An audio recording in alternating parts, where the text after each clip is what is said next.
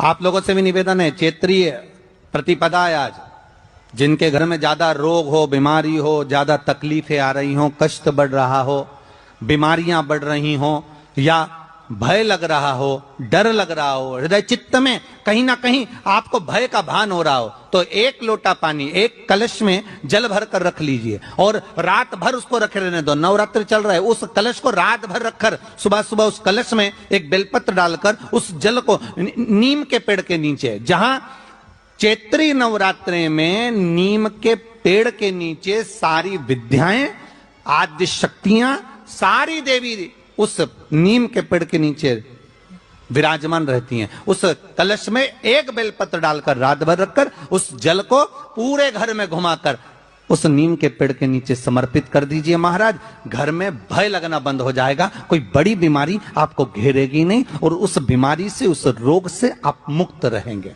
उस बीमारी से, उस रोग से आप मुक्त पाएँगे। वो बीमारी आपको घेर नहीं कलश का